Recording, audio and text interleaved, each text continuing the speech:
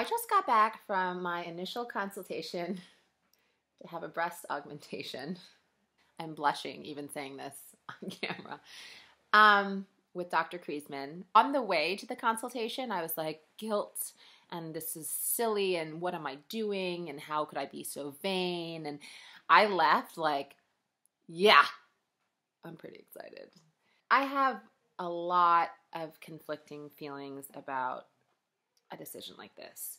It's money, it's dangerous, feels vain, it feels like a little silly. Like, who do I think I am? what I have sort of realized is that I made two people. And in doing so, I mean, I don't want to like overstate the issue. Um, it's not, but I no longer feel in any way like my breasts are a sensual thing for me. And as much as that's a good thing, I mean, that they've been my kids, I, I kind of want my body back. And I think that's an okay thing to want. And I don't know why it feels so selfish or I want to feel good about what what I see when I look in the mirror and I don't and I want to feel like I want my you know husband to see them and I don't and oh, this is so embarrassing. What I realized is I'm a grown woman. It's my money. It's my body. And I want to feel good about it. And I think that that's kind of great. So I I think I'm going to book this, which is crazy. Anyway, yeah. I'm I'm sitting here in my bedroom alone talking to a computer and blushing. if we're gonna do this and we're gonna talk about this, I'm just gonna gonna tell you everything, I suppose. So oh. here's how the consultation works. You go in and they you get you get naked, which is fine a little weird. And then they take a photo, which immediately gets blown up on a screen, and you're like, there they are. So Dr. Kreisman came in and obviously explained everything about the procedures, the options, answered all my questions. He uses this technology to show you actually what you would look like with a lift or with an implant or with both. Turns out that I need both because breastfeeding reduces volume in the upper part of the breast. Whatever. Breastfeeding is a disaster for, for this. So I need both. And then you you play with different like sizes. And what was interesting to me was I'm very uninterested in, in having breasts. But um, I ended up going for a larger implant than I would have thought because it didn't actually look bigger. It just like created a sort of a better volume. Anyway, that's how the consultation went. It was, I thought it was interesting, and I blushed the entire time. So I'm not only going to do this lift thing. I'm actually going to do it in two days.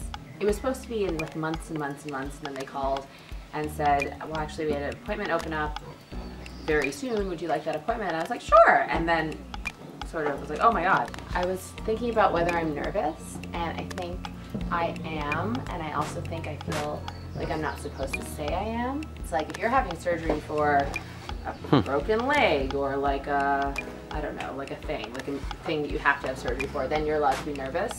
But I feel like, like I'm not allowed. Like I think you feel nervous. But of course I'm nervous. And what I'm most nervous about is um, coming out and being irreparably something that doesn't feel like me. To me, the point is sort of like restoration to what feels like me, not um, Pamela Anderson, who is lovely, but I do not want to look like her in that area. Are you nervous? Hmm.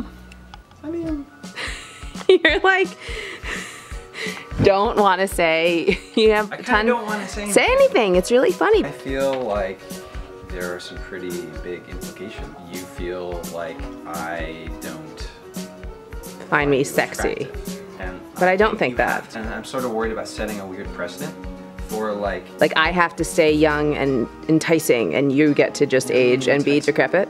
And it's it's, it's even weirder than that. It's like you have to like pretend you're not getting old or something. Yeah. Can I just say, it's not about not wanting to get older. I mean, I, I mean, I use wrinkle creams. I like get Botox on my eye to like open up my eye because it falls down. Mm-hmm. Like I do a lot of things to try to sort of stay youthful feeling, and to me, this is, it strangely is not about youth. It's about like me and what feels like me. I think I might be overthinking this. No, no, no. I think this is. You need to think about this, and you're clearly thinking about it, and you're. It makes a lot of sense to me from how you seem like you feel about it, and so that's the thing that I feel like is most important, and so I. I said, good for you. You sound like you're doing something that you you want to do, and that's going to make you happy. It is selfish. It is selfish. So But- is buying a sports Car. car. That's how I feel. You know how I feel? I feel like in two days I'm getting a new car or like a kitten. it's like a lot of responsibility. I don't know if I'm ready for that, but that's kind of nice. It's pretty cute. pretty cute. Um, you know what I dreamed about last night? What?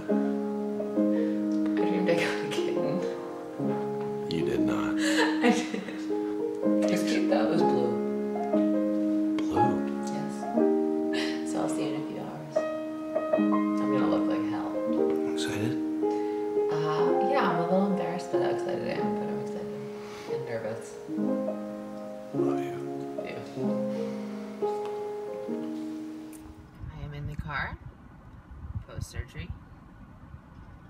They send you home right away so that you can be home by the time all the things wear off. I feel tightness and a little pain. Mostly, I feel drugs. I'm gonna get you home. Yeah. Get you a Jamba Juice.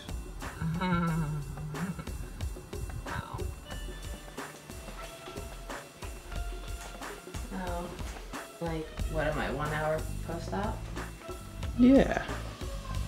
I have to like breathe. But I have to breathe. Which is unfortunate. I just responded to a work email. I think I'm gonna need you to take this away from me. Here, let me grab that phone. Here. No, no, no, I'll no, just- no, no, don't I'll actually take it. me. I'm taking it.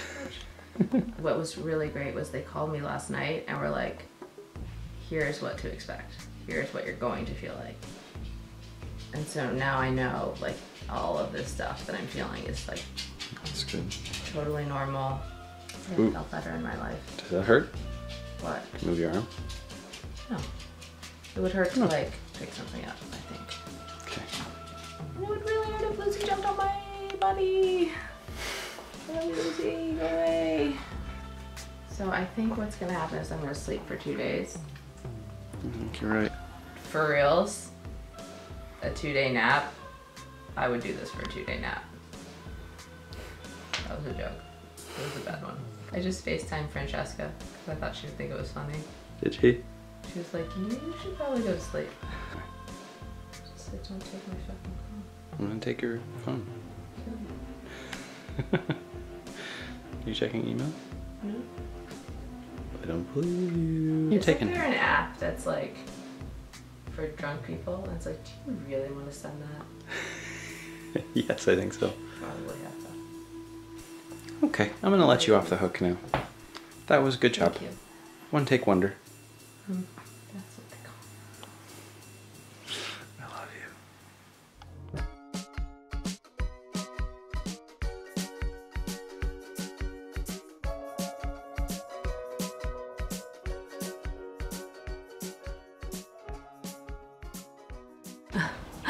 feel self-conscious.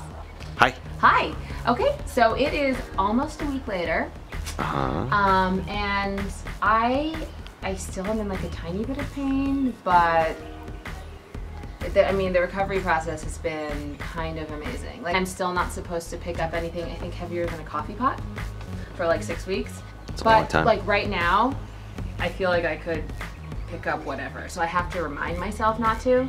Like I keep going to pick up furniture and I'm like, right, don't do that. But in terms of how I feel, Kendrick, I I'm like embarrassed at how much I love it. It's not like I feel sexy. It's like, well, I do, but it's but it's like I just feel so confident and I feel like I I don't feel like a different person. I feel like, oh right, this is how I, I feel. And I feel like I did a positive thing for myself. I feel positive about it, and I would do it again. And I think that that means it was the right choice for me. Not for everybody, but for me.